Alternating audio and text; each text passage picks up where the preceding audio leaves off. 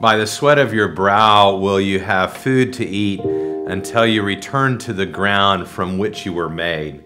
For you were made from dust, and to dust you will return. That's from Genesis chapter 3.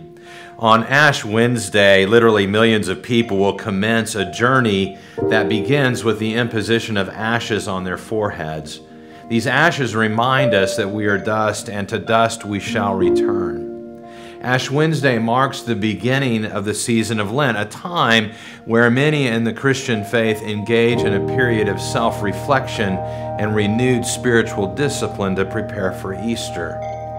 The cross shaped ashes on our foreheads are a symbolic reminder that human life is flawed, that our life as we know it will eventually come to an end, and that we follow a Lord who tasted death with us and for us, and not just us, but indeed for the whole world.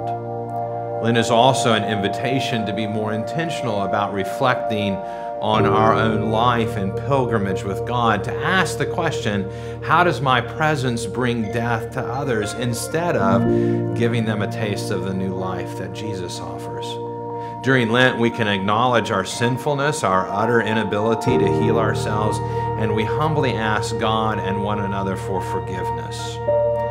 During this Lenten season, as your bishop, I invite you to be intentional about saying no to behaviors that keep you from deepening your relationship with God and other people. I invite you perhaps to, to become more involved in your church, or maybe you want to spend less time at church to free up energy uh, to a new partnership, for a new partnership and community out in the world. Maybe you want to exercise or study a book of the Bible or commit to daily time of prayer. Or maybe God is asking you to set aside time to get to know your neighbors and to find Christ in unexpected places. Whatever you choose, just remember you are dust, yes, but dust that is deeply loved and cherished in the eyes of God. Dust that is even now being reshaped into something so beautiful and holy that we can scarcely even imagine it.